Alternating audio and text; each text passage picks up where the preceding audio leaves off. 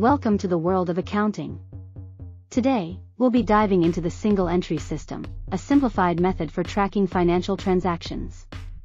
In the single entry system, each financial transaction is recorded only once, making it ideal for small businesses or individuals. To keep track of income and expenses, the single entry system uses a simple cash book. Let's take a look at how it works.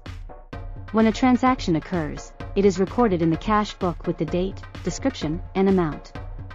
This provides a clear record of all financial activities.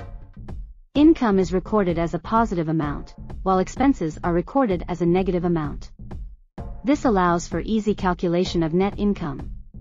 At the end of a specific period, such as a month or year, the cash book is totaled to determine the overall financial position. While the single entry system is straightforward, it does have limitations. It may not provide detailed financial analysis or accurate financial statements. Despite its limitations, the single entry system can still be a useful tool for basic financial tracking and record keeping.